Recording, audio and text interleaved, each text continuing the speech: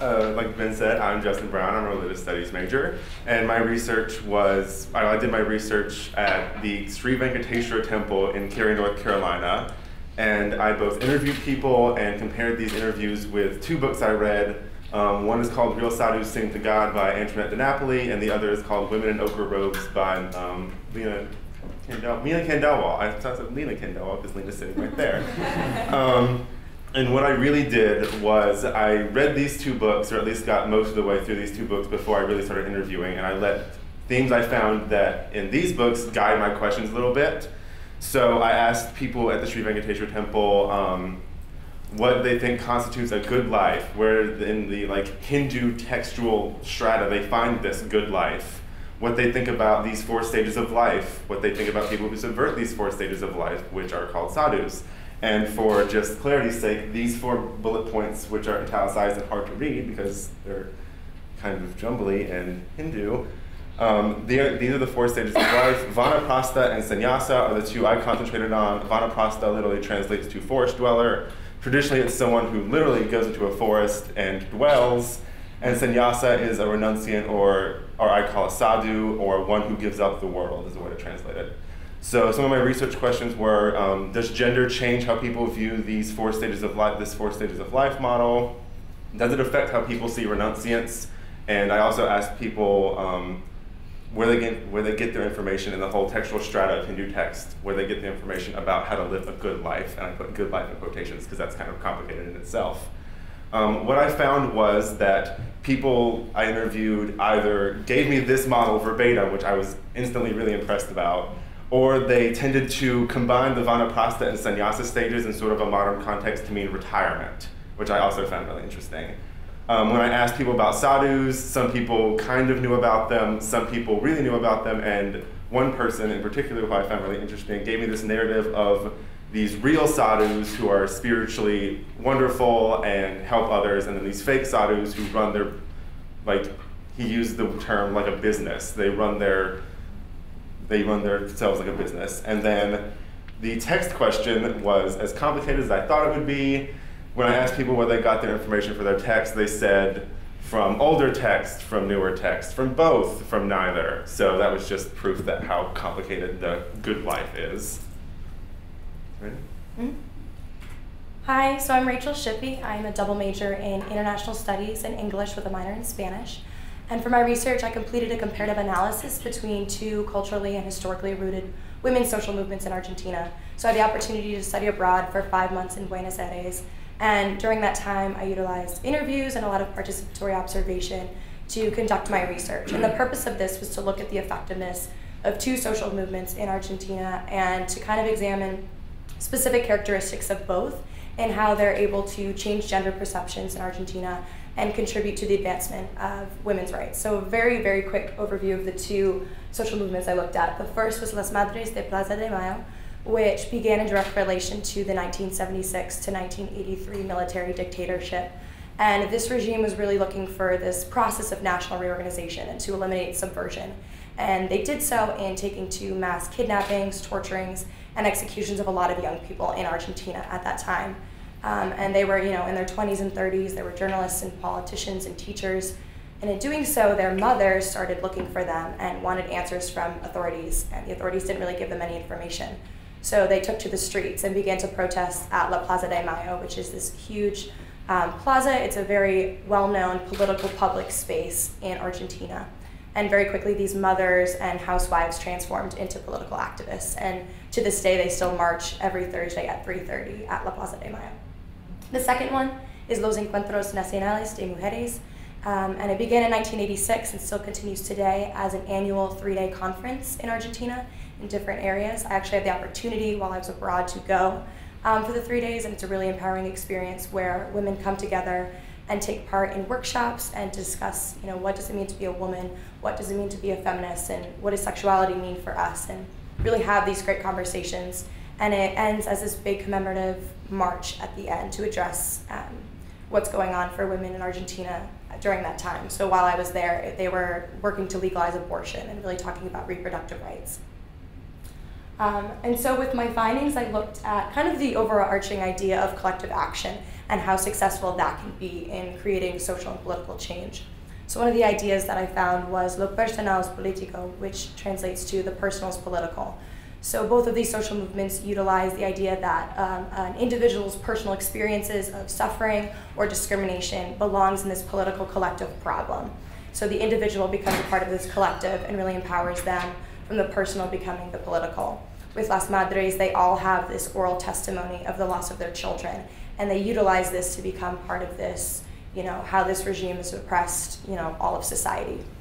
And with Los Encuentros, during these workshops, they're able to see how um, you know, their daily instances of discrimination as women is a part of this bigger systematic oppression against women. Um, and they really feel empowered to realize that they're a part of this bigger collective group. Um, and in doing so, this concept also adheres to the idea of the mobilization of women from the private to the public sphere. So Las Madres did this really, really well um, by mobilizing themselves into this new space that women hadn't utilized before, um, and it, uh, Las Madres really opened it up for Los Encuentros and this bigger feminist movement that exists today. And then the second idea that I really touched upon was poner el cuerpo, um, and that means to put the body, and it's used in the context of putting the body um, in resistance and kind of putting it on the line in political protest. And political protest is a huge aspect not only of Latin American culture, but of these two social movements. So Las Madres protests every Thursday at 3.30 at La Plaza de Mayo. And Los Encuentros utilizes that big march to really empower all these women. So it's utilizing the body not only in a collective group, but also realizing to reclaim your own body kind of in this autonomous um, way to reclaim your rights or to realize that these women have the right to have rights. Hi, I'm Leena. I am a double major in strategic communications and international studies, and uh, this research project was actually a student collaborative project with Dr. Musa, and we used ethnography to understand Africans specifically communities coming from Sudan, Democratic Republic of Congo, and Eritrea, and Asian, specifically communities coming from Bhutan, refugee resettlement in Greensboro, as a pathway to a community-based participatory impact assessment. So the larger guiding question of our study was, how are the resettlement expectations, the needs of refugee communities coming from various cultures and contexts addressed in the first three months after their arrival in the US. And we specifically looked at the three months um, because for many resettlement agencies, this 90 day period is the allotted, allotted time for their involvement in directly assisting refugees achieve that self sufficiency through support in finding employment, health services, residency, and community. Um, so to simplify the many umbrella of questions that came from this larger question, we looked at how resettlement and self-sufficiency was defined and conceptualized by first those working for these resettlement agencies, and second, the refugees themselves. Um, and we looked at how those narratives compare within refugee groups and how they compare with between the caseworker and the refugee. Um, and to answer this, we conducted semi-structured in-depth interviews and with both caseworkers as well as refugees, and also participant observation at the agencies and refugee residential spaces. Um, some of our preliminary findings include um, this kind of shared understanding between agency workers as well as refugees that 90 days is simply not enough uh, to achieve self-sufficiency. And there seems to be a disconnect between the refugees who define self-sufficiency as this long-term, prolonged um, system process that requires sustained support because this is what their understanding of support has been shaped as, as they're coming from uh, refugee camps from all over the world. This is their understanding of what support means to them. Um, and then this in com contrast to the caseworkers who, based on the nature of their job, um, define it as a checklist of items to complete within the first 90 days. So due to the rush nature of the resettlement process, we found very negative associations to that 90-day policies by refugees and how um, the, their current successes and their current status in society um, is separate from the organization because of those feelings of dissent. Um, and then another um, finding we found is that in terms of defining resettlement, we saw disconnect between the caseworkers who conceptualize the process as of resettlement as the only viable solution and the last resort for refugees, while many refugees themselves consider the movement from um, their refugee camp or their home country as a forced migration. So, from their homeland, another movement, a step in their journey um, due to prosecution and a search for better future. And they're unable to immediately grasp or adopt that last, uh, um, last resort mindset that they're introduced to once they come to the United States.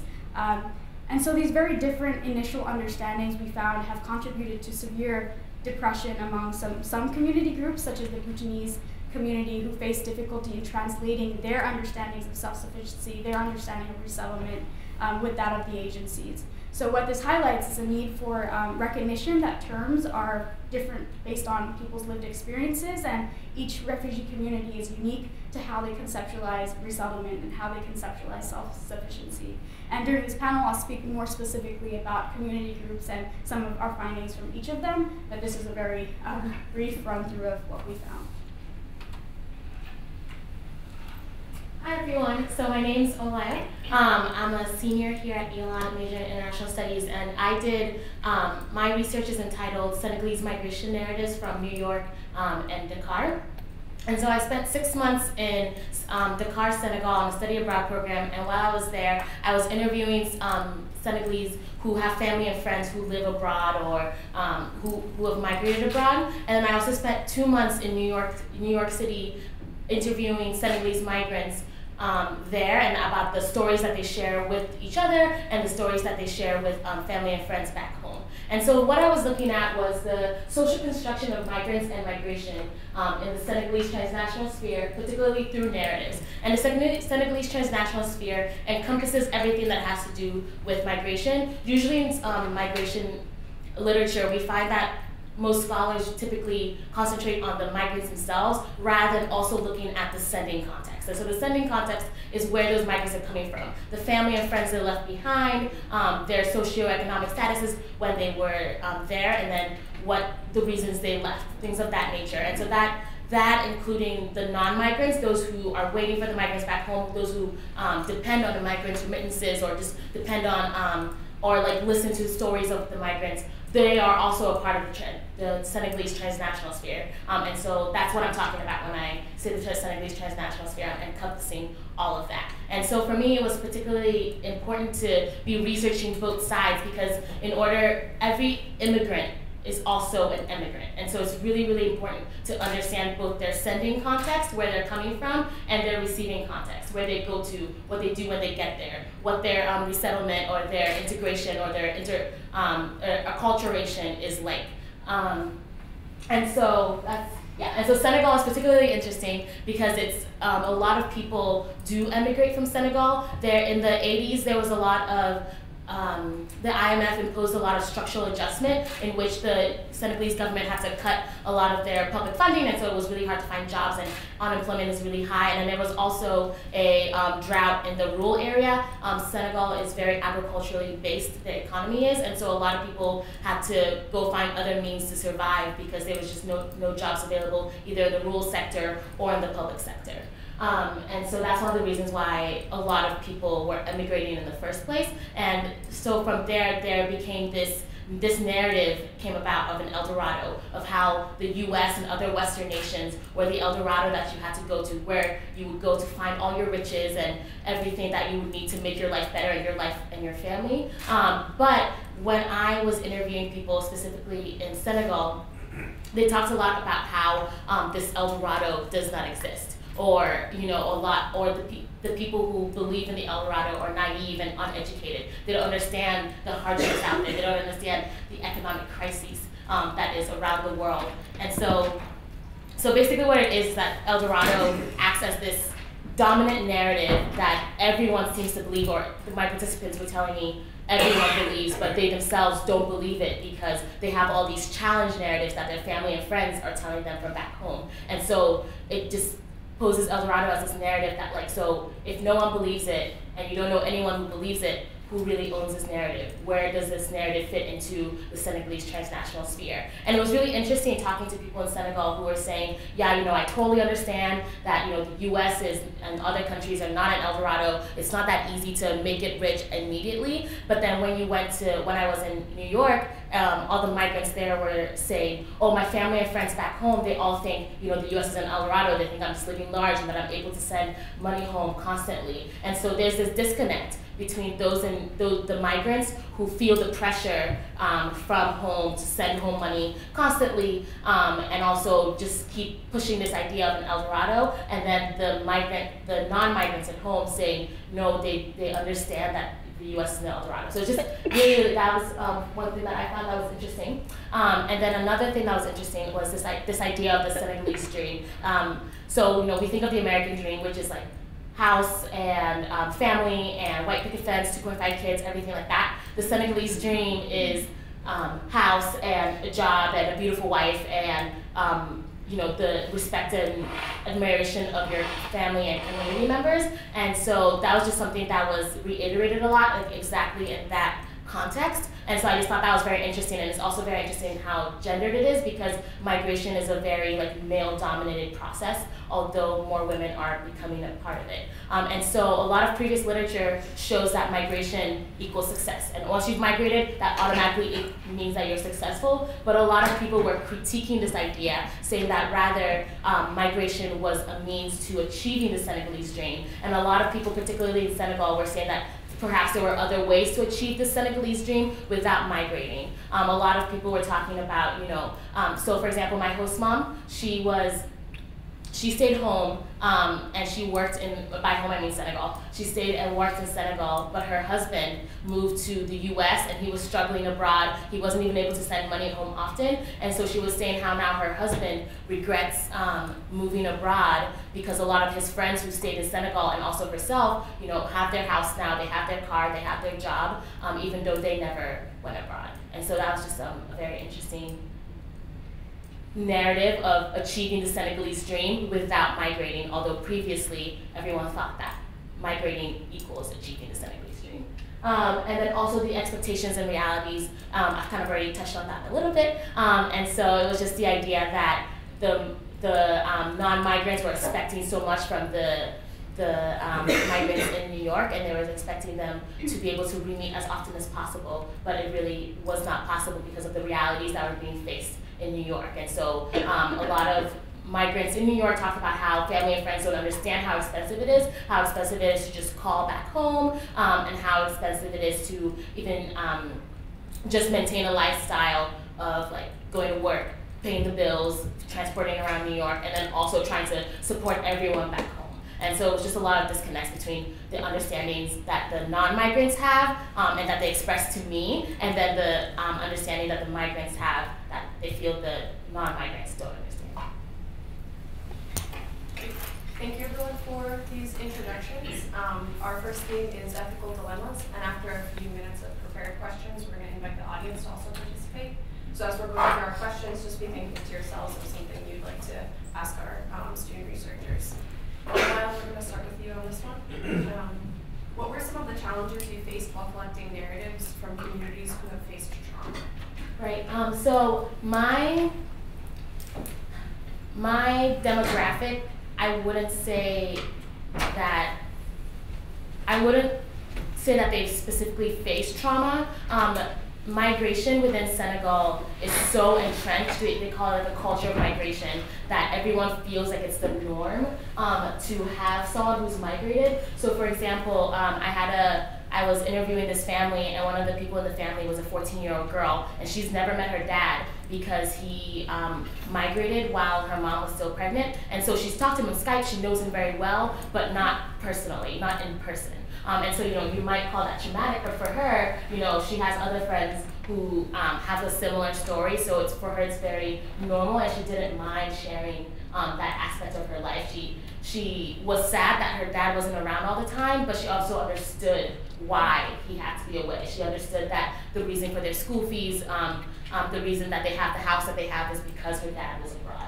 Um, and so I don't think that Senegalese, the community that I was working with, um, would consider themselves as facing trauma. Um, they would just, you know, this is a part of my life, let me share it with you. And so I didn't have any um, difficulties approaching that subject. And even those in New York that I talked to who were undocumented, they were totally fine sharing with me that they were undocumented. And um, I even had the head of the Senegalese community, um, Senegalese Association of America, which was like my initial spot in New York. He, um, the general manager there, he's also undocumented. And I was like, do you want me to mask your name in my research or anything? And he's like, no, like just share my name, it's fine. So they don't feel like they're a traumatized group at all. It's a, just a very much so a part of um, their story and their lives, and they didn't mind sharing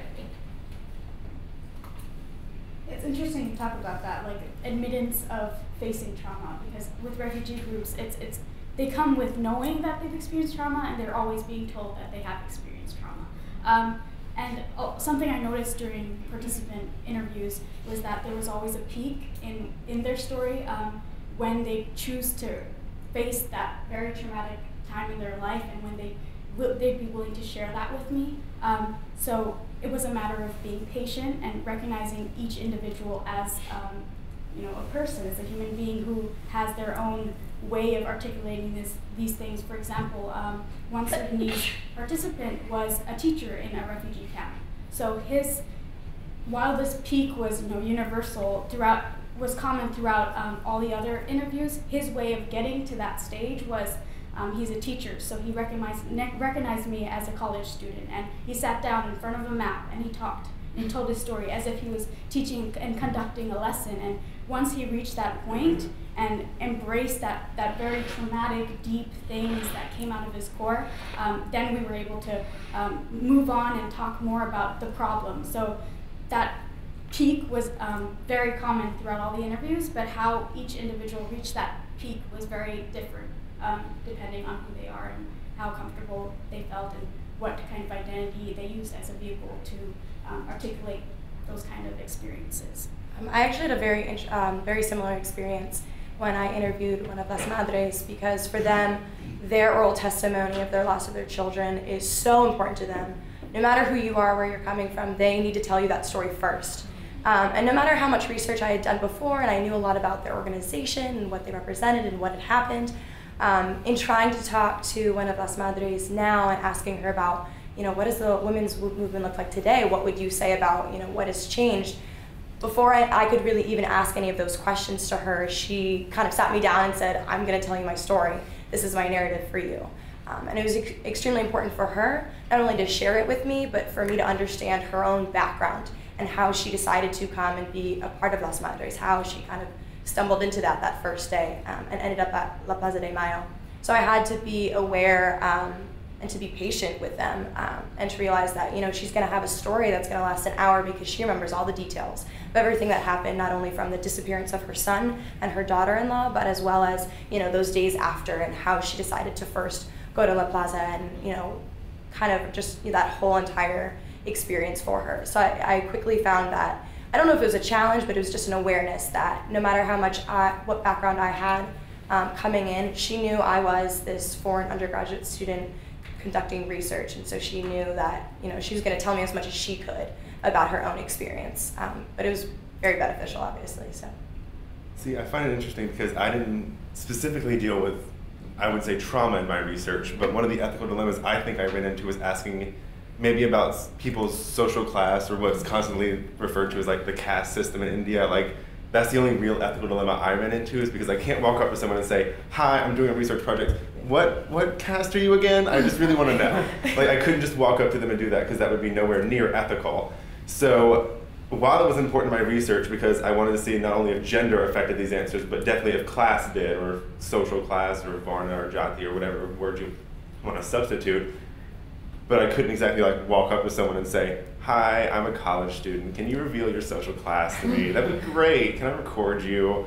So I find it interesting, like that that kind of ethical dilemma contrasted with mine, whereas it's a little trickier. Like with you, with yours, you can kind of like these people were willing to like volunteer up a little bit without, but mine, I could maybe parse out a little bit of social class from mine, but I couldn't like I don't think I had anyone expressly say like, "Hi, I am this social class. Let me tell you all about it." Um, I think that's why it makes um, ethnography so fascinating and so important because, so for your example, you had to get to know them before you could ask those questions. Yeah. Um, and so that idea of participant observation that allows us to um, not necessarily become a part of the community, but for the community to get comfortable with us to then open up. That's why um, I personally like our methodology so much. Um, and then also the fact that ethnography allows us to capture the stories of the individuals and so that everyone has a story to tell. And so the way that ethnography um, ethnography is able to approach those stories to highlight those stories and make it the center of our research um, i think that's really important and i believe that's probably why a lot of our participants didn't mind sharing those um, stories of trauma whatever level uh, we articulate trauma at um, with us. It's really interesting that we're seeing how trauma is playing different roles in identity formation and in different communities. Um, so, Leena, I want to come back to you for this question um, to start with.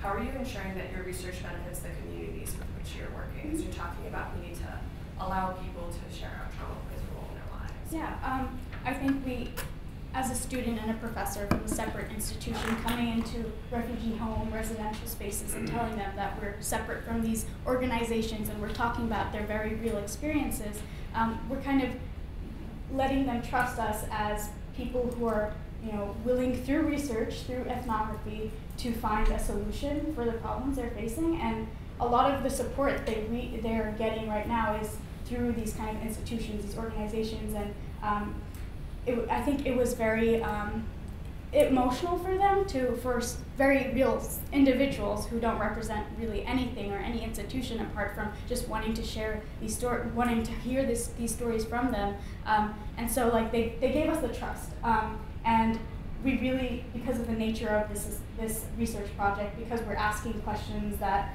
um, that encourage them to think about their experience critically, um, they are understanding that we're willing to do something beneficial. And all this information will be provided for the caseworkers as well, so they understand where these feelings of dissent are coming from, and um, for the refugees themselves to understand what's being done and what the refugee um, resettlement agencies will do for, for forward, uh, coming going forward. Camera, is, is it allowed? Basically, uh, I want to talk about the building trust. It's something that takes a long time. Uh, so what uh, we did was, before we asked the, uh, the refugee communities to tell us anything about their story, we made sure that they are not currently getting any service from the resettlement agency. Uh, so we have started working a while back uh, to establish uh, a rapport with the community, recognizing that ethnography takes a lot of time for people to honestly tell you about you know the causes um, why you know they, they left their home country uh, is you know something that really uh, takes a personal knowledge uh, between the researcher and the people who are uh, talking about their narrative. So we we gave them some time to know us uh, to ask us, uh, you know, who we are. For example, we, we got involved through uh, voluntary work. I think that was uh, one of the dilemmas, like you cannot just go and talk to the refugee communities. You have to have a certain entry point. So the entry point was uh, working with the uh, resettlement agency. Um, so one dilemma was to let the uh, refugee communities know that you know this time we are not coming as volunteers, but we are coming as researchers. And so to, to do that, we have to have like a gap between the time we did the volunteering work, which was uh, in the spring of 2014, and the data collection uh, happened in the spring of 2015. Uh, so what ended up uh, uh, happening is that some of the refugee communities uh, knew like when we were doing the volunteer, but they also helped us find uh, people who were also willing to share their stories with us. Uh, so it, it, it, like that time span allowed us to uh, open, uh, you know, the, and how do we uh, see our role? because you know the narratives are important to articulate, like why, for example, the refugee communities think that resettlement is a long process uh, it's because they are telling you know, the, the, the narratives uh, that led them, for example, you know, experience of trauma, whether they articulate it in the form of politics, or religion, that might be different. But really understand them, that was very useful. So with that, we're going to open it up to, to Q&A from you guys about ethical dilemmas. So if you guys have been thinking while they've been speaking about um, questions that fall in that category that you want to ask, just go ahead and raise your hand.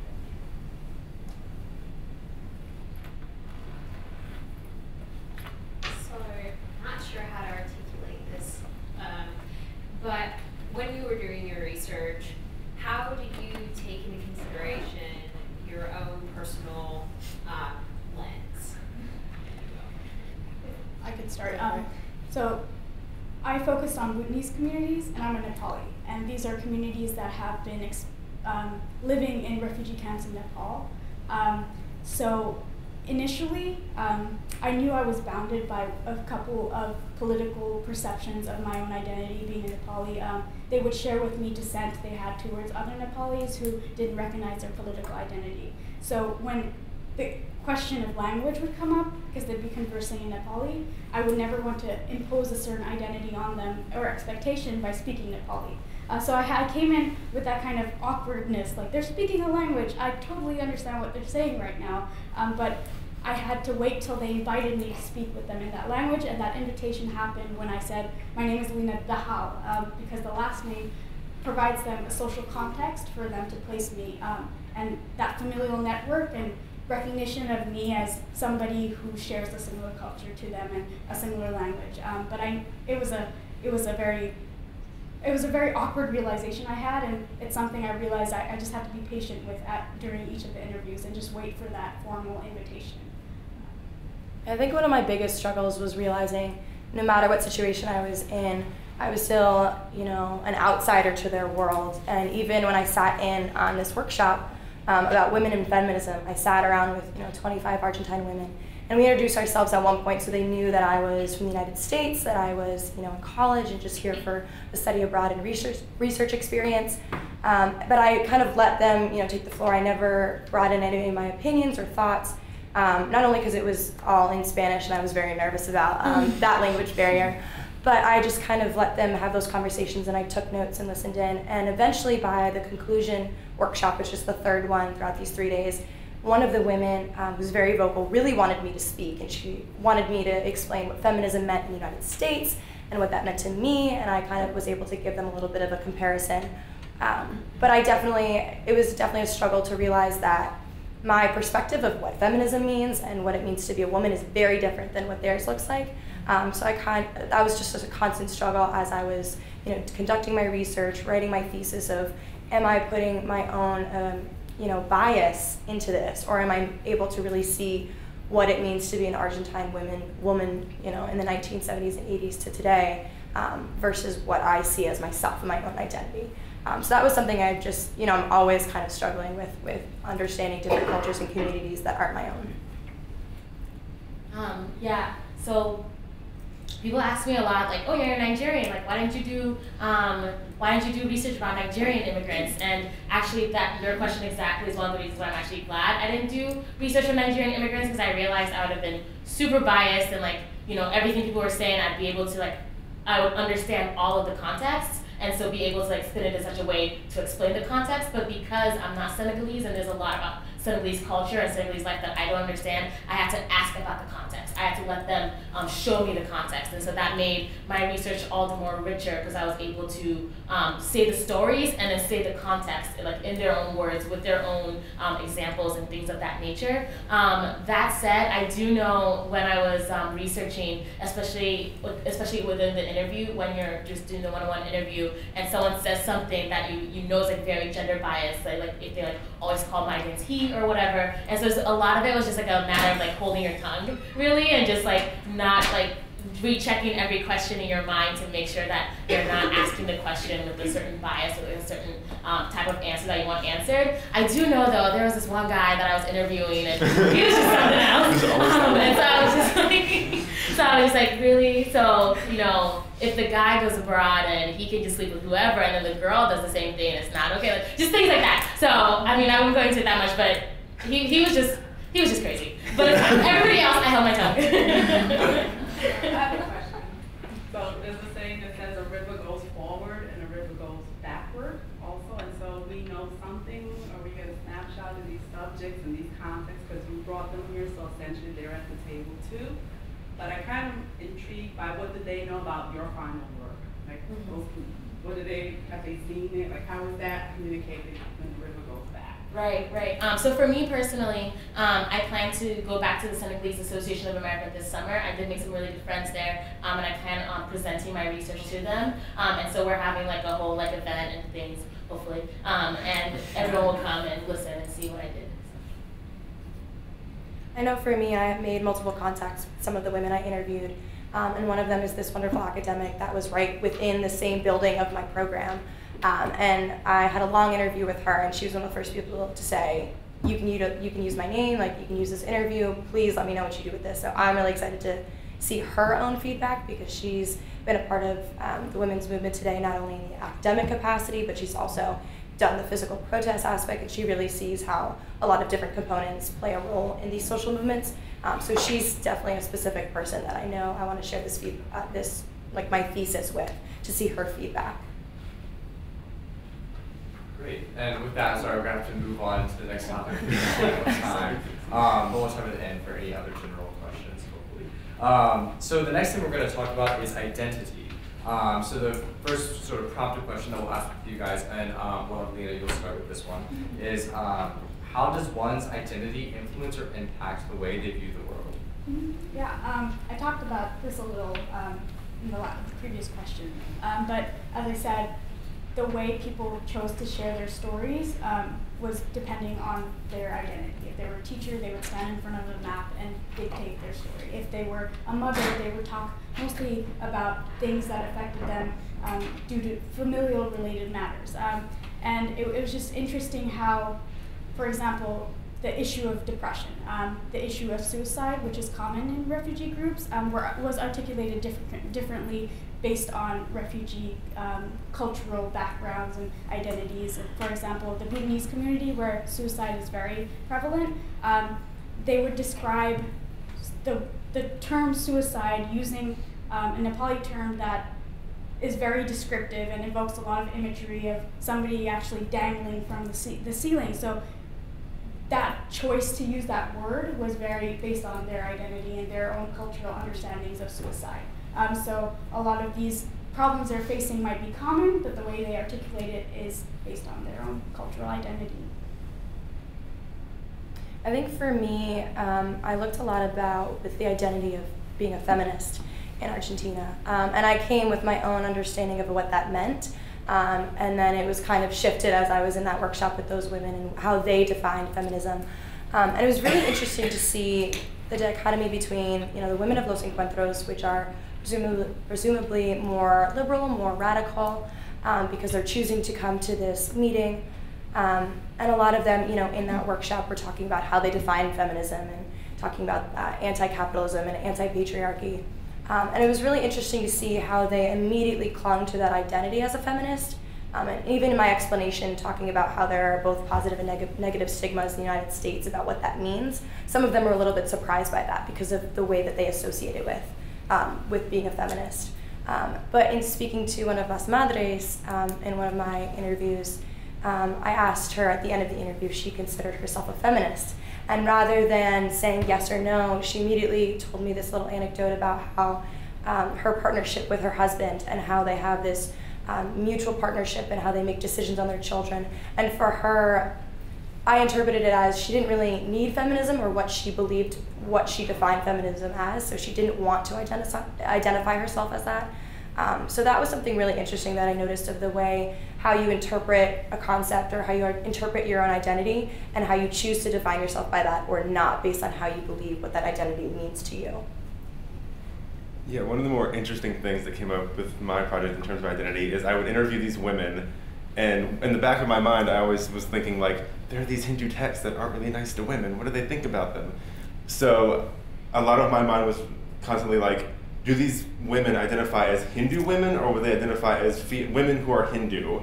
And there's that kind of distinction. If they're Hindu women, they have there's sort of an acknowledgement of a past of like sort of misogynistic, um, a sort of misogynistic past of Hinduism, which isn't that nice to women. But if they're women who are Hindu, they're prizing a female identity over a religious identity, and so it's a little mix of all of that, and it's kind of I wish that was a question I thought of earlier when I, I was interviewing them. Like, would you consider yourself, or maybe something like, do you consider yourself a woman who is Hindu or a Hindu woman, and like the ramifications of them answering one way or another. And I wonder if they would have been able to differentiate either. I if they'd just be like, both. I think I'm both. Because I Yeah. think that depending on the context, your um, identity can be very different. And so for me, you know, with the migrants, depending on like if they were talking about other migrants or if they were talking about non-migrants, you know, their the way they identified themselves um, was very different.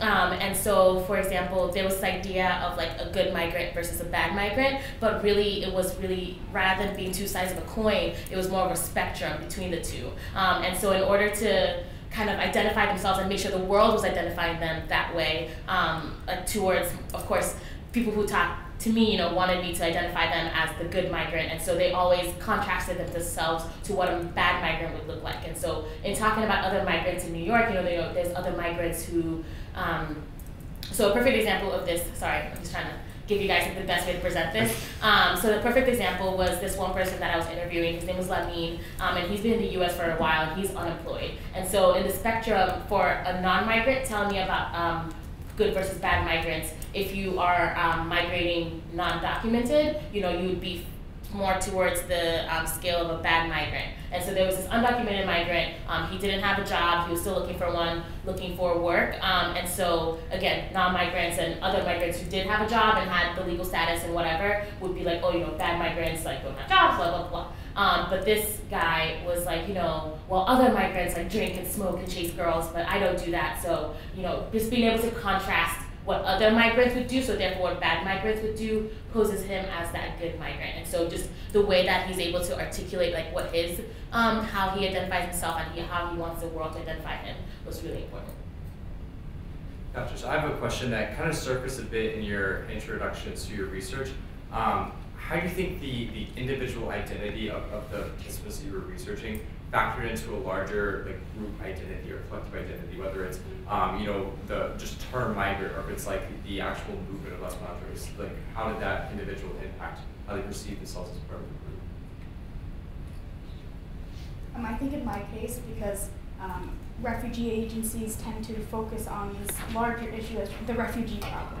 Um, I think we realized quickly that based on the stories, these problems are different with groups. Um, for the Sudanese, it's either religious or national. For Belize, it's political. For um, for the Eritrean, it's also political. They're, they're coming from different contexts, and um, how they place each other in this larger um, term refugee has been really interesting because they're, they're sharing similar experiences, but based on narratives we've collected, they seem very separate. Like they're appreciative of the other movements, of the, the existence of other groups who have shared that kind of similar trauma, but they're very separate and isolated within that community um, of their refugee group. Um, so it's, this, it's been interesting trying to see when talking to the caseworkers how they talk about refugee as this larger term and how the refugee groups understand themselves as being very isolated from this other larger, all, all the entities that exist in this larger term that is refugee. Um, so that was interesting. Yeah, mine was similar in that um,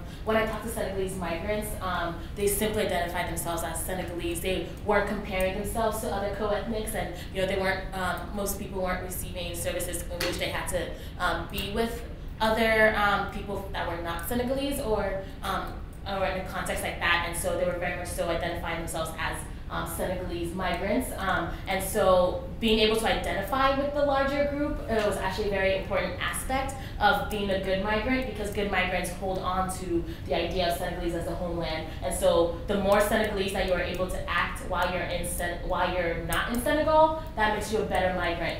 But for some of the participants that I was working with, if you're too Senegalese, like while you're abroad, then like that's a bad thing. And so there's this idea. So you know we have the Little Senegal, and so some people who were in Little Senegal loved it because you know they're able to relate to. Um, they're able to maintain their Senegalese identity even though they're New York. They still speak speak Wolof and still wear the things they wear, still wear the still eat the food that they want to eat. But other people who um, either came in and out of the community or just avoided the community altogether, they thought that you know being in Little Senegal was a little bit of a cop out. Like why would you go? Why would you come all the way to New York just to stay in Senegal? was basically what they were saying because it was just so similar. And so there was just this dichotomy of like to be a good migrant is um, to remain Senegalese, and you know, because even the people who were saying like don't live in Little Senegal or like don't want to associate with Little Senegal, they still wanted to be seen as Senegalese. They just didn't want to have to act Senegalese all the time, and they thought that that wasn't that wasn't really growing.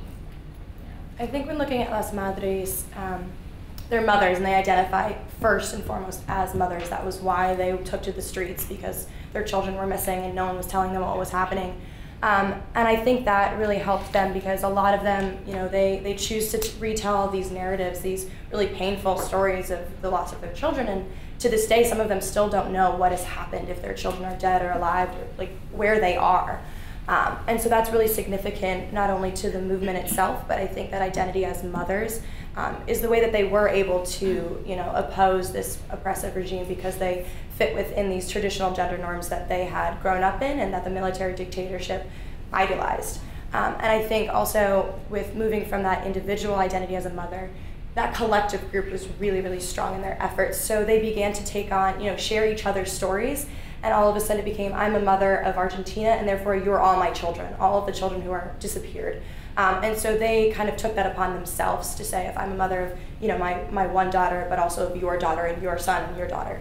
Um, so I think that was really significant in the way that they were able to identify together, and that's why they're called Las Madres de Plaza de Mayo. Great, thank you. Um, we're going to open it up to audience participation now. I have a question for Leena about the um, question, maybe a follow-up question. Um, did you, you said you did participant observation in the communities. Mm -hmm. Were they in communities that were mixed populations or, mm -hmm. so did you get any impression of whether their identity spanned only their smaller community or whether they felt some kind of connection with refugees in general? Mm -hmm. Yeah, it, this was really, really, really interesting to me because um, a lot of their house assignments were made by the organizations themselves, and they would place groups with groups, trying their best to place groups with groups. Um, and for different groups, it varied. Their response to that varied. Um, for the Bhutanese community, I found it really interesting that um, even though they were around people of their same identity, they felt very much alone. And this contributes to their depression, their suffering, because the resettlement agency defines their community as people coming from the same refugee camp or people coming from the same country, um, but they define it as the people who share their same last name, the people who share their same ethnic group, which doesn't, that's not the same thing to them. So one, one Bhutanese participant said, there's too many Bhutanese people here and I feel alone. Uh, so I think that captures just this discrepancy between what the organizations what terms the organizations choose to use and project on communities and what how they're actually translated when in very real, very cultural contexts. Um, so that was one interesting observation. And did you notice any difference in that based on age? Um, yeah, it, whenever we'd enter these residential spaces, there'd be a waiting period. So we'd sit with family members, um, and it was interesting. Um, they'd serve us like Sprite and milk. um, and they, it was just interesting. Even that in itself is such a cultural, um, cultural offering. Um, this for the Sudanese community. These are pastoral-based communities, so they're serving milk and Sprite um, as you know Americans, uh, new Americans, and it's just really, really interesting. Um, so um, I forgot your question. I got too caught up in the notes. I was wondering about the different kinds of interactions between people who came from different, yeah. either within that country or between different countries, between African mm -hmm. um, refugees and Bhutanese refugees, and how the dynamic of the community as a whole, rather than just individually, what are your narrative stories, more like do you are you identifying just with those people, or are you identifying with everyone in your community who is struggling to mm-hmm. become self-sufficient? So, um, as I was getting to um, before I started talking about milk, um, their, um, their their community is very based on their own lived experiences. So, in the Sudanese community, uh, we entered. They'd be they'd stick with people they share the same refugee camp with. For the Bhutanese community, they'd stick with people of that same uh, familial network. So um, their understanding of community is based on their own own lived experiences. So even if there are many Bhutanese with them, um, that doesn't translate to a sense of community. So they place themselves in a very isolated understanding of community. They recognize that they live with other refugees, but they're looking for and searching for um, people and groups that translate to that very own identity, that very own lived experiences, whether it's a friend from a friend or a refugee, the same person who lived in a refugee camp, is very, very, very um, central to that singular identity and their own experience. Last follow-up, I promise. um, so, did you did you notice were there children in the communities yes. too? Mm-hmm. And did the children seem to have any more um, fluid an idea of what that community meant, or did the children also only concentrate on that? Um, I think based on our like limited group of participants, um, the people they stuck with or were friends from their community. But when we talked to them about their experiences in school, and I said, you know, where, where we're from, they say, oh, we know someone from there. We're learning Spanish too because there are a lot of Hispanic immigrants uh, that, that go to our school. So they're excited to embrace more cultures. But I think, especially for the elderly population of refugees that are coming in and that don't necessarily, they're finding it hard to uh, grasp onto the culture that's around them. Um, they're very trying to look for that community, that whether it's familial or whether it's from the same refugee camp, that community that's very isolated. So it's, it's different, yeah.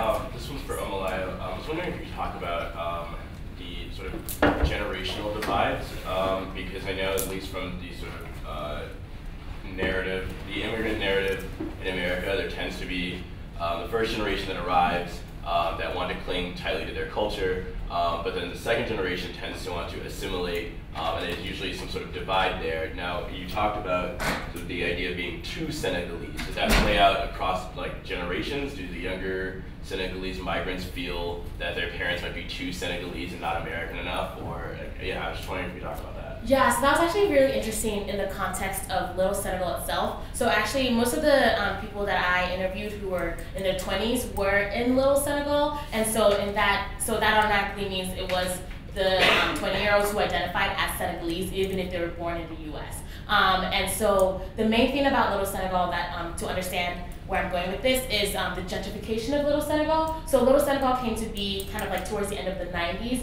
um, when the when a lot of Senegalese migrants had moved in and they'd settled and they made 116th Street theirs. It used to be full of like prostitutes and um, gambling and all these things. And one by one, um, Senegalese migrants started to move there and they, um, they gentrified the place essentially and made it um, into what it is today, which is you know this bustling community of, of a lot of Senegalese migrants and other West African migrants. But what it is is that all of the people who live there um, are more or less renting. So even those who own who own a business um, on 116th, they're renting it. But now things like Chick Fil A and CVS want to move in, and so um, landlords are hiking up the prices so that you know Senegalese business owners have to move out, have to move somewhere else, um, and other large companies and um, you know rich people can move into 116th. So 116th is being gentrified, and so the largest disconnect that I saw, at least in New York, um, was the fact that the younger generation was like, oh, you know, the older generation really let us down. They should have been buying, um, they should have been buying all these high rises when they were cheaper because they were. At some point, um, the New York government was like um, selling them for like a dollar a piece. But really, like the, the truth of the matter was like it was a dollar, and they had to like, pay all the back taxes and like pay for the upkeep. So like, really, was it a dollar? but the point was, um, the younger generation was like, you know, the older generation let us down. They should have bought um, this because they had come to, they grew up in Little Senegal. They wanted um, it to be Little Senegal for themselves and their next um, their next generation as well. But the older generation was very much so like set, um, go to New York, go back home. Even though they ended up staying for like 40 something years, you know, it was a lot of like go to go to New York, go back home, and so that was the mindset that caused them not to buy um, housing in the first place. And so now the younger generation kind of feels let down by that. But what was interesting was that the older generation felt as if that felt as if the younger generation wanted to no part of Little Senegal. They say, you guys just come here, watch our TV, and leave. You guys don't, you know, help. You guys don't participate, and also you guys don't understand the history of why we didn't buy those one dollar houses. We couldn't afford those one dollar houses because they really weren't one dollar. Um, and so that was the generational divide um, in New York. They really did identify Senegalese, and they wanted to be a part of that community. They wanted the community to stay there, but they felt like their parents um, were kind of abandoning them and didn't think um, future thinking when they um, when they were renting out places in Little Senegal rather than buying them, and so that was interesting.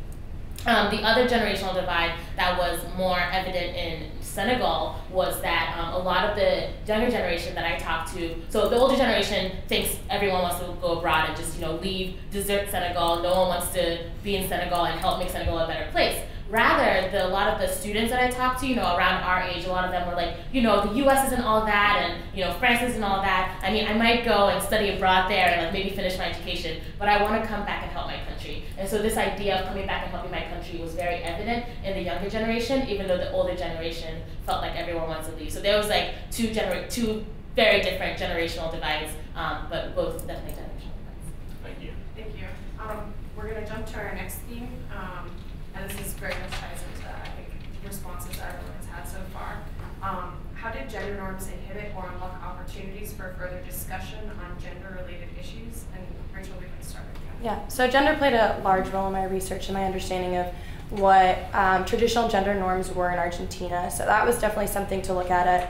Um, the, the gender norms that Las Madres existed within and how although they weren't attempting to kind of break within those gender norms, they weren't breaking those stereotypes at all. They were really staying within the confines of what a mother and a housewife was. Um, they really opened this space for you know this larger feminist movement and second wave feminism to really come into play in Argentina and Latin America. There were a lot of other movements going on. Um, and you know, advocating and opposing other oppressive regimes regimes that were occurring at the same time, um, and so it's it's interesting to see how you know both of these movements have been able to, without you know intentionally or unintentionally doing so, breaking what those what those gender norms are. But I think in looking at those and speaking to women and seeing what their opinions are, it was very important for me to understand, you know, where they come from, what those gender norms looked like, and what gender norms they're trying to break. What are they trying to? How are they trying to redefine their identities as women? Um, and what is that looking like, and what they want that to look like? And I think that's still a process that they're going through right now. It's still, you know, that's why they still have these conversations and these dialogues to really see where they want to go in the future. Um, but for myself, I think it was important. I think I had, I as identifying as a woman and a feminist, that was beneficial for me, and to be able to continue having these conversations with them because I think there was a, you know, that that connection in itself um, was really helpful in, you know, researching with them and having those conversations. Yeah, so you were talking about about like sort of the history of the gender norms, sort of like the context right. they exist in. I think one of the interesting parts about me researching Hinduism is the fact that gender norms are deeply rooted in this traditional thing called it's called pativrata, which is like your duty to be, your sort of a religiously tied duty to be the best wife you can to your husband, to I don't want to say be subservient, but that fits it very well. Mm-hmm. Sort of be subservient to the man, but also doing so in a way that is religious and is the right thing to do because it's religious. So I think acknowledging stuff like that in backgrounds, like you can't exactly prescribe Western gender norms on a community that has this like history of pativrata, which is obviously something that is a little alien to Western society in a way because it's religiously tied.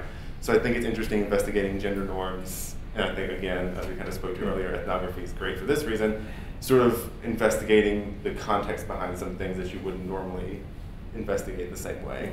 Absolutely, and I think, especially when you look at Latin America, the influence of the Catholic Church, religion has a large role in the way that, um, you know, the the roles of the man and the woman within the family, within that private sphere.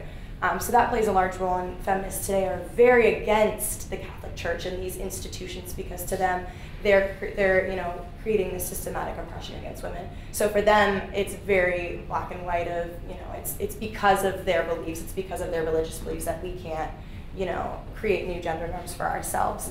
Um, but I think it's interesting how much you know these other institutions are playing a role in how they view themselves and then how they're you know choosing to interact with each other. And Justin, you were talking about translating gender norms in a foreign context.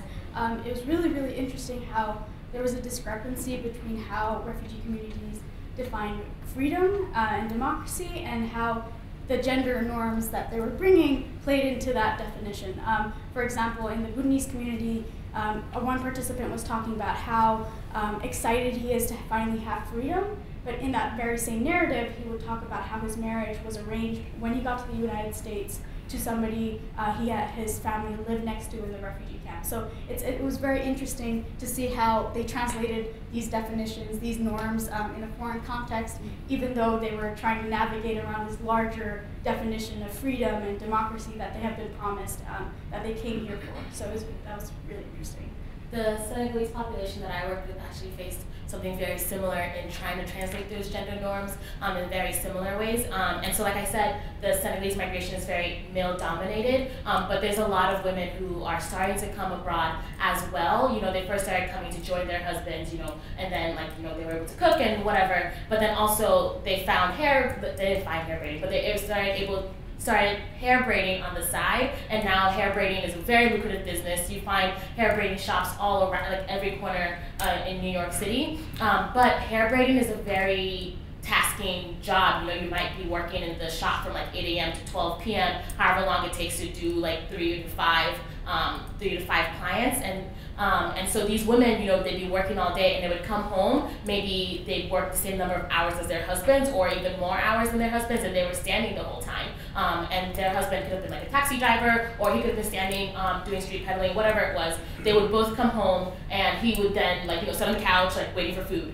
And so it was just very interesting how they were expecting um, the gender norms that they're used to in Senegal to then be able to be translated right into New York, even though the the working and economic norms were were switched now. You know, the woman was making more than the man, yet the man was still expecting a certain level of um, subservience, really, or uh, gender norms. I, I don't want to bias anything.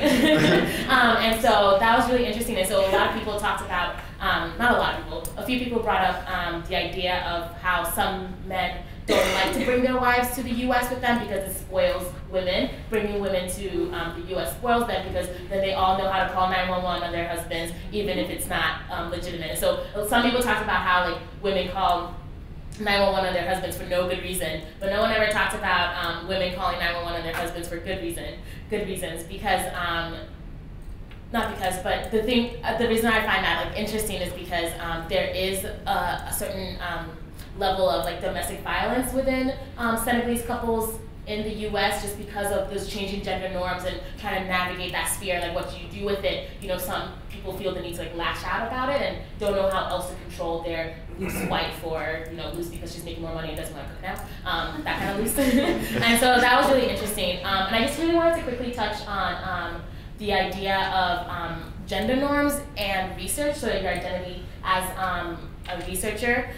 And so for me, it was just this really interesting story. So, you know, usually when I go into my research site, I try to dress as conservatively as conservatively as possible because Senegalese women tend to dress conservatively. Um, but I don't usually go into my research site on Sundays, right? Um, just because there was like other things I was doing on Sundays. Um, so there was one Sunday that I had brunch with a friend and I was wearing this pink dress that was like two or three inches above my knees. Um, and then I had to, I remember there was like something I had left at the community center like a day or two before, and I was like, okay, let me quickly go get it, ask them a question about this big festival we're having on Monday, um, and then I'll leave. Mm-hmm. And that was like the worst decision of my life because I walked into the community center, and you would have thought those men had never seen knees before. It was just like really, really uncomfortable, like, like funny after the fact, but in the moment, it was like really, really uncomfortable. And it was just interesting because they all live in New York. So I'm definitely not the first woman they've seen whose knees they've seen. But I really would have thought I was the first woman whose knees they've seen. So that was just really interesting, like my identity as a researcher and just like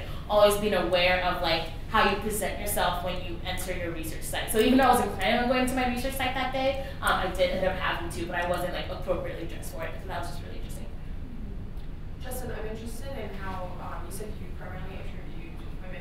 how did gender play a role in, in your research?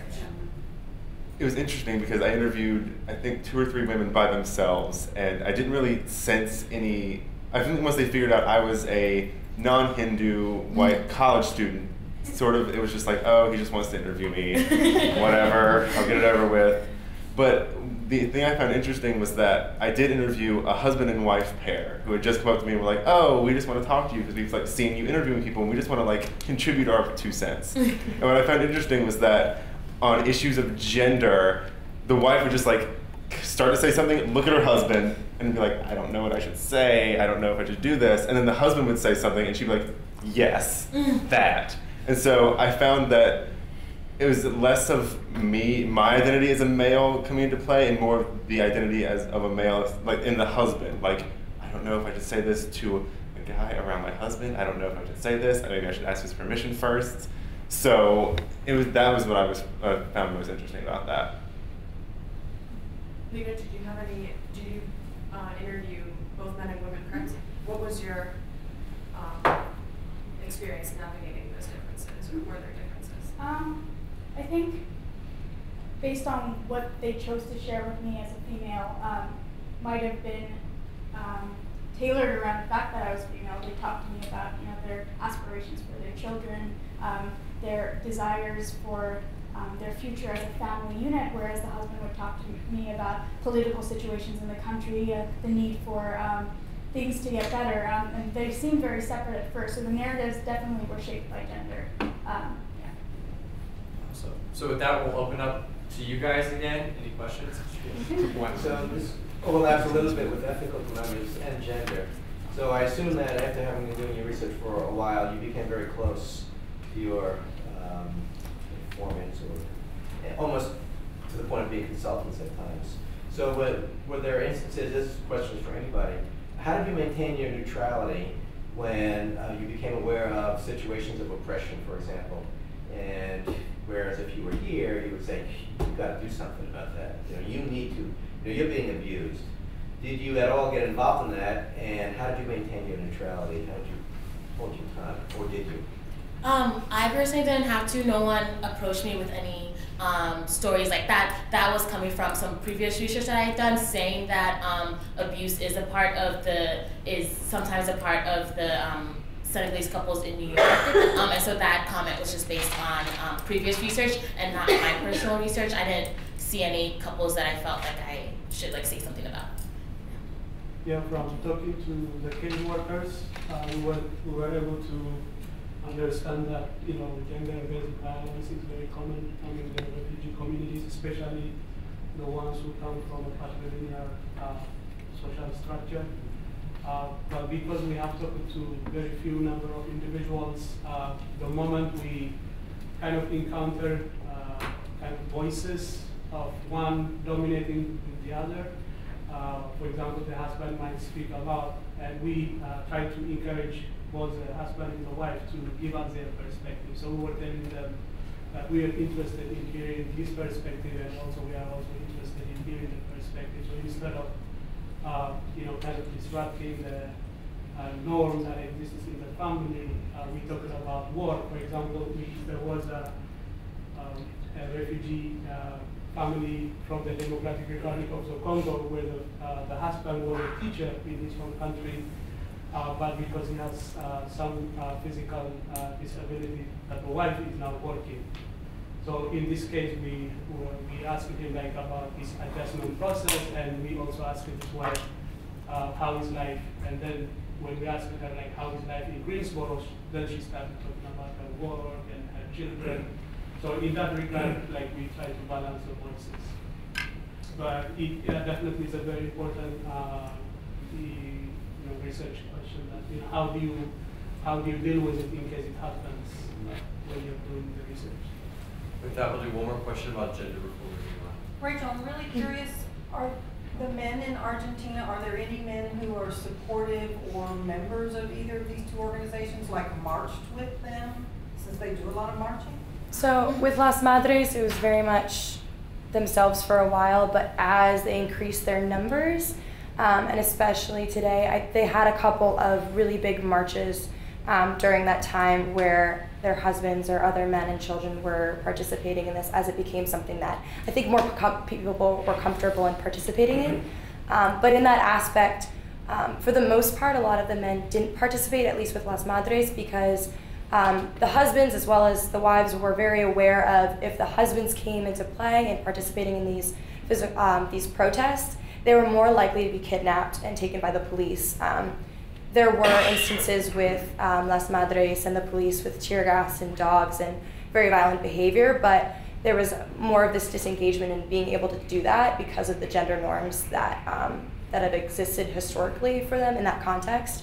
Um, with Los Encuentros, because the encuentro itself is only for women, it is a bit exclusive. But um, in being a part of that march, um, at least the, the one time that I was there, I know that you know there are some men who are either watching from the sides, but there are some that did feel a little bit comfortable in joining in and participating. So I think um, it's something that's still progressing. Um, but when you see bigger marches that are more public rather than kind of the exclusivity of Los Encuentros, you know, on the streets of Buenos Aires, absolutely there are more men um, who are coming into play. It's still definitely a work in progress, but more men I think are um, being able to identify and realizing where this oppression is um, occurring. All right, so with that, we'll transition um, into our next topic, which is religion. Um, so this question's kind of open. Uh, we'll start with Justin, I think. What role did you find religion played um, in working with communities and cultures that differed from your own? Oh yeah. So funny, funny anecdote before I answer that. Really, when I initially like was going to go to, the, I was on the hour drive to Cary to this temple, and something hit me. I'm just like, oh my gosh, I'm not a practicing Hindu. I'm just this college kid. How will I ever interact with these people? I must look like a complete stranger at this Hindu temple. I'm just gonna hide my head and walk through and hope something happens. But as I got there and started interviewing people, I found that once I had a shared like ritual vocabulary with them, because I had studied Hinduism before, obviously, I know like I knew what I was going to talk about with them. Like I didn't just say, "Can you talk about these women?" I was like, I used the terms that they would use, like sadhus and whatever. So I found that once I started to use sort of the shared ritual vocabulary, you see something change on their face, like, oh, he knows what he's talking about. I can really like discuss things with him. That's where I found that it really helped. It served as like a bridge between me and them because otherwise, I there's nothing really there's nothing else. I'm just a college kid coming to interview them at their temple while they're like going about their regular Saturday like. So I found that just like the ritual vocabulary that I could identify with them on a religious level through the use of like the knowledge of their traditions. I know how to circumambulate a temple correctly. I know take this with the right hand, don't take this with the left hand. Like stuff like simple, well, seemingly simple stuff like that really helps like build a relationship with people.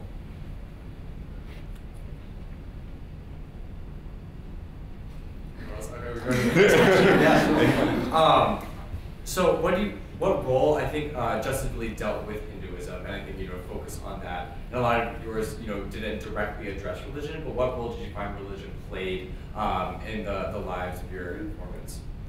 I think for some of my informants, um, religion had more of an importance than others. Um, in one case, for a Sudanese participant, he prayed before he shared his story, um, and he, the hierarchy in when you talk about the organization and his resettlement process, and then God was was apparent. So he would talk about God being the reason, reason for his self um, adjustment of self sufficiency and separate that narrative from that of the organization. So it was interesting seeing where different um, participants placed God in relation to the organization. Yeah, also just to, as a follow up, yeah, even though like three individuals came from the Darfur region, um, the way they articulated um, you know, religion was different. Like one person said, like he was persecuted in Darfur for his religious belief uh, because you have, you know, the North uh, in Sudan who believe in Islam. They tried to impose on the Darfurians. So for him, like religious freedom was the most important thing. Then for another Darfurian who is also a Muslim, got persecuted, but he still uh, finds religion as an important way of uh, building uh, network uh, for himself, like in Greensboro. And then another person who believes in animism from the same Darfur region, he also talks about the importance of religion for him, like how, you know, in a sense of community.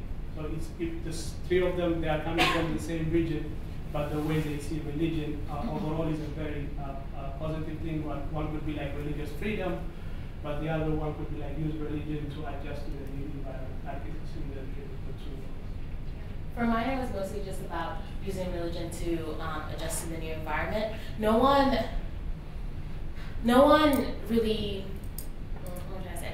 Okay, so basically that back to that spectrum of the good versus the bad migrant. The good migrant kind of holds on to the traditional Senegalese values, and for them, part of those traditional Senegalese values also entrenched in traditional Islam, um, Islamic values. And so, someone who was able to remain Muslim and you know still practice, even though they were in New York, was considered a better Muslim. But it really wasn't brought up that that often um, in my field work. But I do know that um, the history of Senegalese migration to New York um, started with the Muridia, um, which is an, um, an Islamic brotherhood underneath the Sufi sect, and so they're very prominent um, brotherhood within Senegal, although they're not the biggest. The Tijani is actually the biggest, but more researchers research the Murid because they're usually the most organized, and they're able, their, their um, trade networks and their migration networks are very, very visible. Um, and so that kind of um, helped in the resettling and also the networking and being able to integrate into the US um, and other communities that um, Senegalese migrants have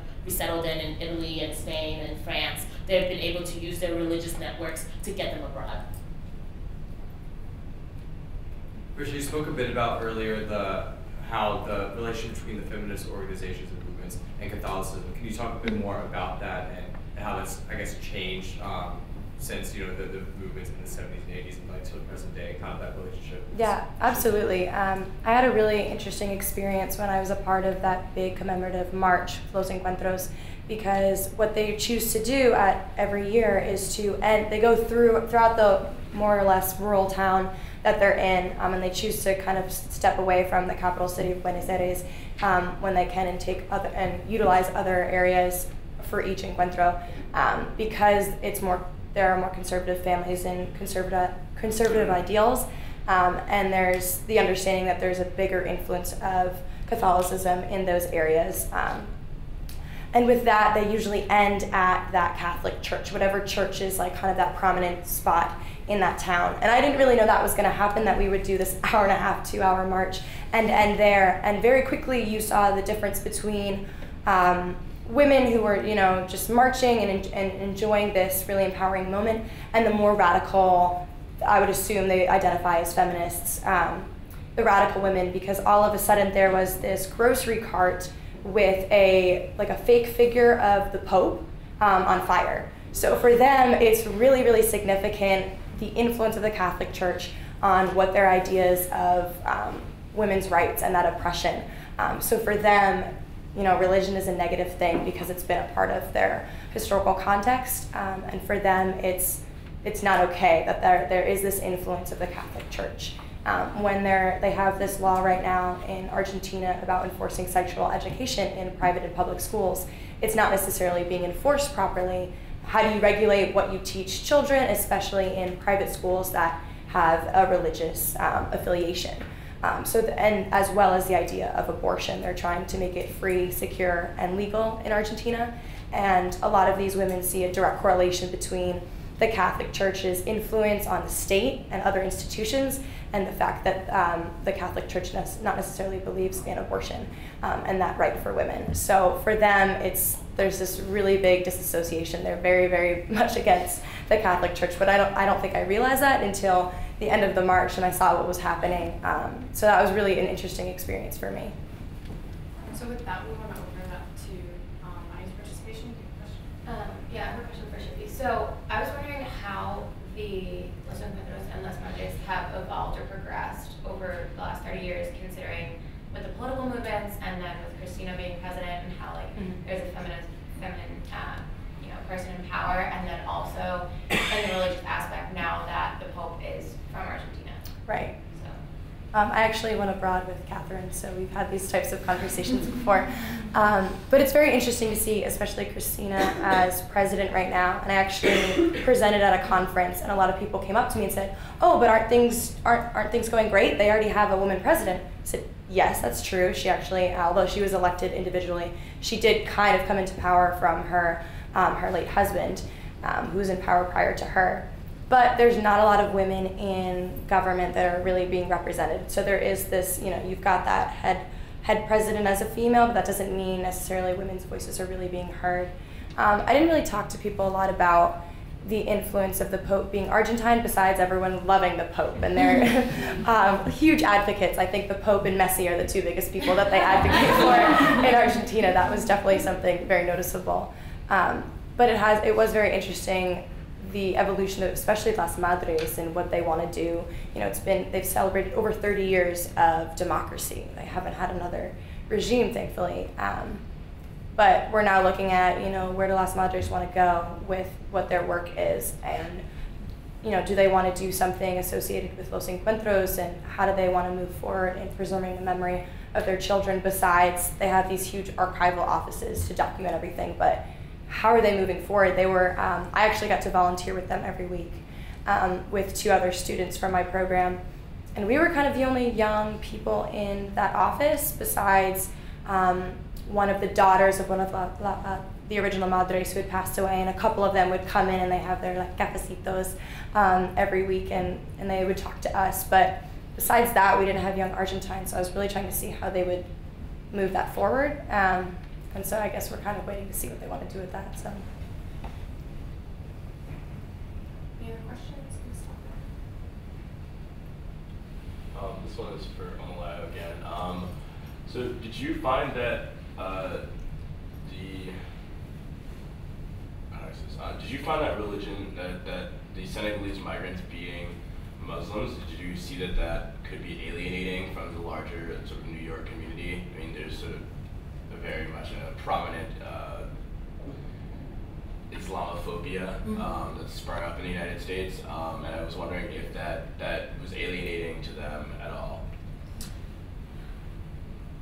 Honestly, it didn't seem like it. No one talked about being oppressed by the larger um, New York community, um, and also no one, no one um, really talks about feeling like they couldn't practice Islam. There's a mosque very close to the Senegalese, um, very close to Little Senegal. Their large mosque um, has since closed down because due to gentrification and not being able to maintain the rent. Um, and other than that idea of the mosque not being able to stay open, um, the larger mosque, there's smaller, there's another smaller mosque still on the street that people go to. Um, so other than the large mosque closing down due to rent and not due to like people protesting or anything, that was the only time people brought up um, not being able to practice as easily as they would want to. Um, and so it didn't really seem um, like people felt as if they were oppressed or not able to practice. Um, and actually, the reason the Senegalese community was able to establish itself so well was because of um, in, in the 80s, where there were a lot of um, African American Muslims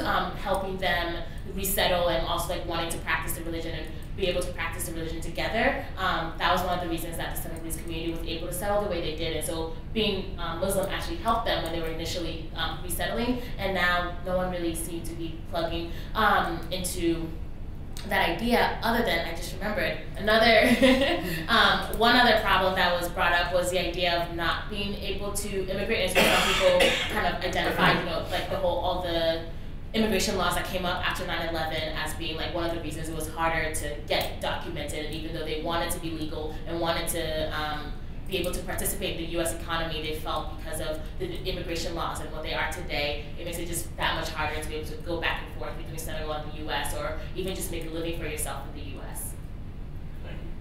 Thank you. Um, so with that, we're going to move on to our last theme, which is immigration. Um, and Ola, I'm going to start with you again. How is immigration conceptualized across communities and cultures that you worked with? Um, okay, so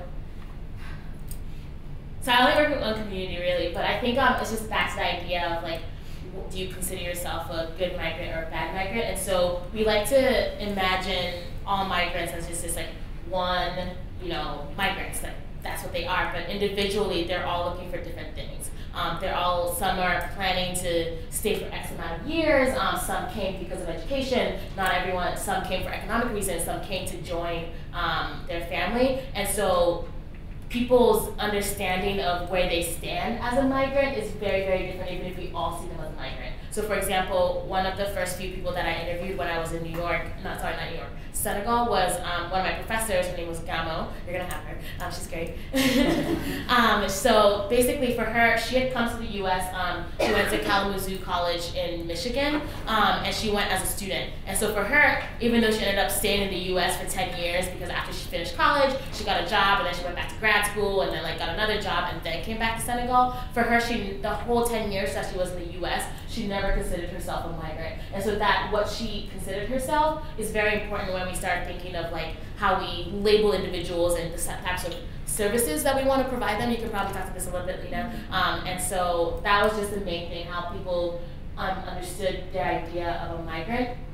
Um, and then that is best, that is most evident in this um, idea of a modu modu.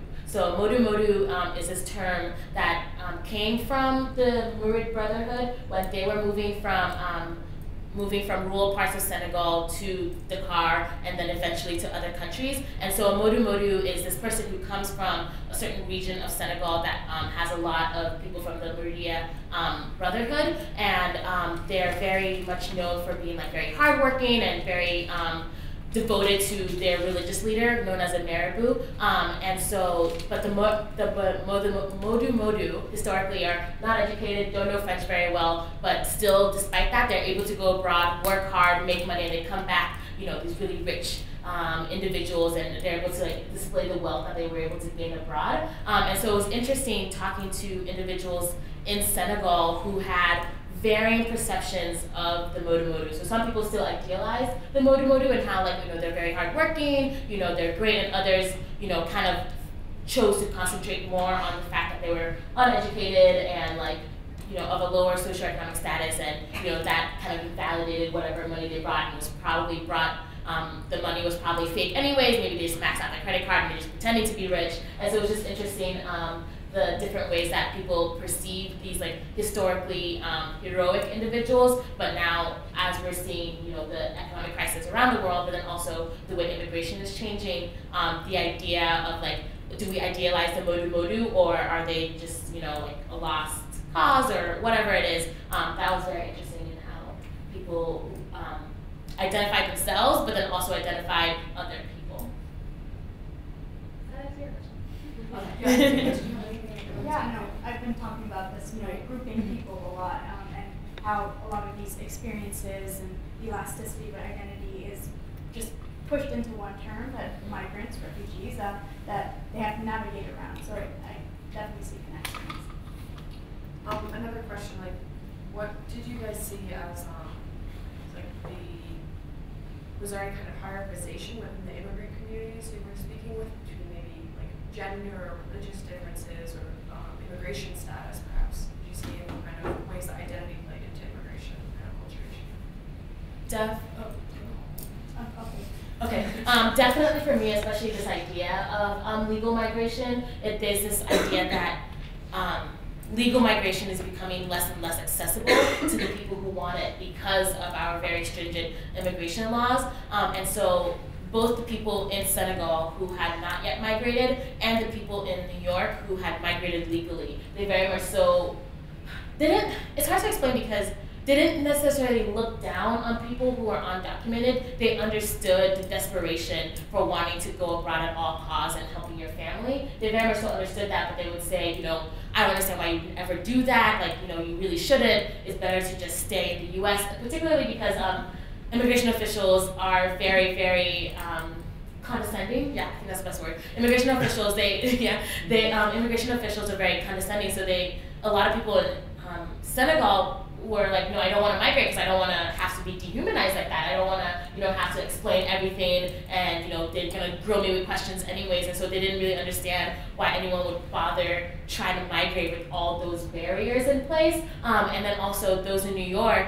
Um, particularly would point to the um, non-documented migrants as saying like, you know, they really should just go back and, you know, that's the best bet. Like, even though there's this shame for uh, associated with going back without having achieved this El Dorado narrative that I was talking to you guys about. Um, and so this idea of like, you have to go back and prove that you did a good job while you're abroad. And so to have done a good job means that you got a good job, you made money, and you're able to come back and present that riches back to your family and your community. And so if you weren't able to do that, a lot of times it's perceived as you were lazy, um, you didn't, you know, work hard enough, as opposed to just like the economic situation and the legal situation that prevented you from being able to do so. And so some people were very in tune with that idea, but they were very aware that the larger Senegalese community was not in tune to that and that you're looked down upon if you don't come back with an El Dorado, narrative. And so therefore, it's hard to come back with an El Dorado narrative if you're there illegally. Um, and so therefore, being there legally is also looked down upon.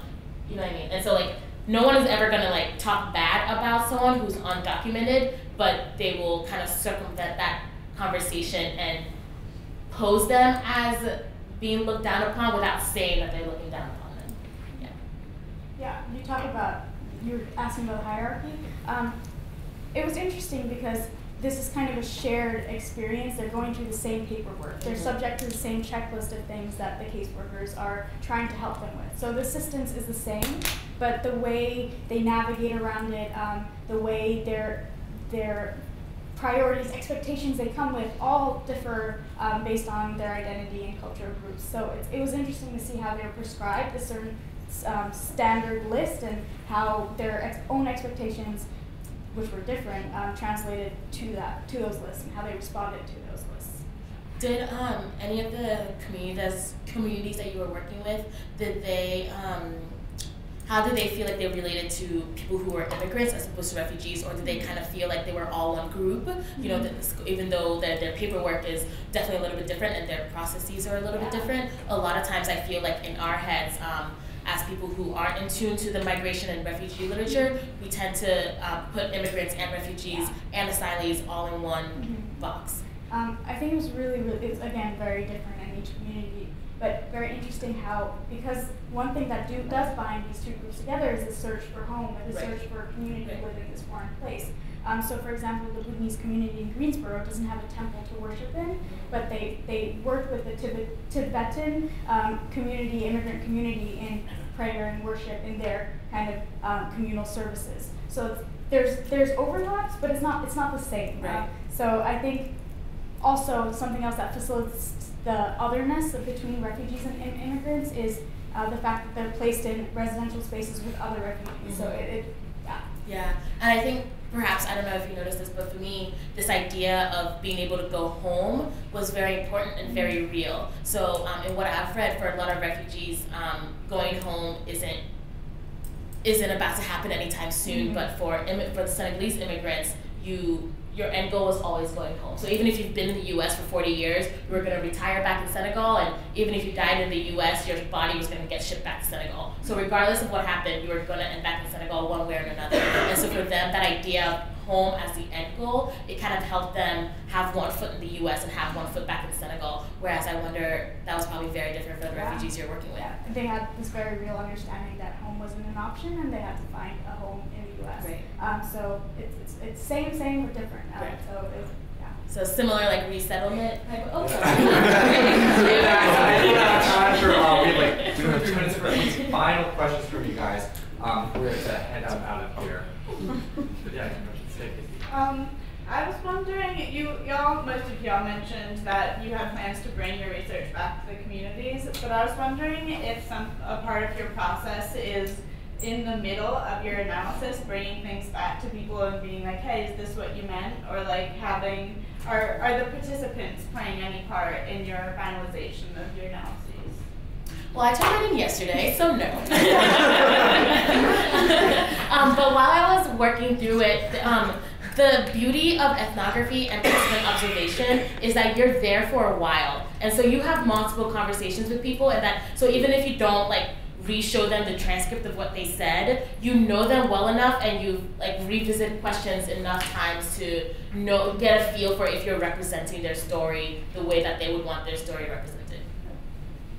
I feel like for me, I was constantly accumulating as much information as possible from everyone. So whether or not I was sitting down and having an interview, I'd have you know dinner conversations with my host mom, who is a single mom with two kids. Um, it's just this vivacious woman and very smart and loved to tackle really interesting United States issues with me in Spanish. So it was definitely an interesting. She's a very political woman um, and has a lot of opinions. So I love to watch those fights. But I, uh, between herself and her 23 year old son. But I was accumulating information just by listening to them and listening to how they felt about the politics that were going on on TV and what culturally things what cultural things were happening at the time. Um, so for me, whether or not it was official, I was still being able to like, like just by being there for five months, I felt like I learned so much about um, the culture and the community as a whole. So I'm just curious about the narratives that took place when someone visited home. Ooh, yeah. and what did the people there say when they were either there or gone? Right. And how did that kind of fit into the larger context of some of the things you mentioned, like El Dorado or other mm-hmm. you know, points of? So that is a really, really great, great question. I definitely did spend a portion of my paper talking about that. And so, like I was saying, there's this idea of even if so even if no one believes in El Dorado, um, apparently, there's still this um, pressure to present that the fact that you succeeded, the fact that you weren't just being lazy, that you did make it um, while you were that you that you were um, making money while you were abroad. And so some people felt that um, pressure in the fact that maybe they had to bring home presents a lot, you know. And so I was actually able to go to downtown New York with one of my friends who was preparing to return to Senegal, and I watched as she like expanded and um, unexpanded her list and so she was trying to decide like who to buy for um, and so a lot of that was based on like how close she was with people but then also like what social um, social capital she was trying to gain so for example there was a boyfriend that she had just started dating back in senegal um, and he had a few friends that she didn't really know very well but she still bought all his, her friends wa- all his friends watches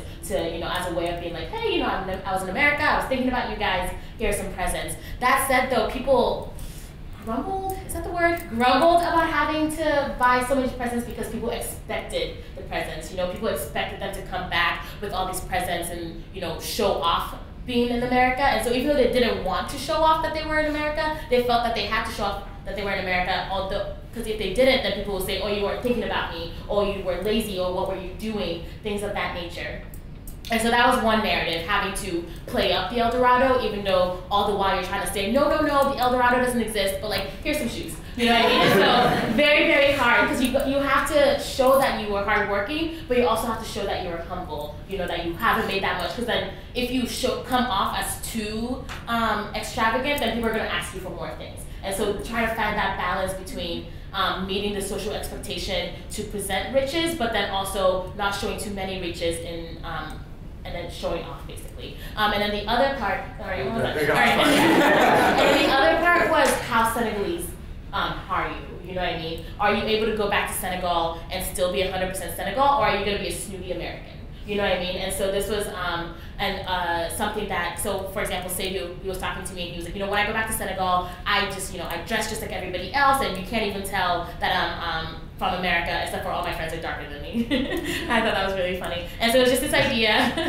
it was just this idea of like being able to go back to Senegal, and even though you brought back money or you brought back a phone for your mom or whatever it was, um, you're still just as Senegalese as everyone else who didn't leave. And so that was really interesting. Awesome. That's all the time we have for questions. if you're dying to ask another one, you might be able to snag the panelists before they leave. Um, let's give it up for.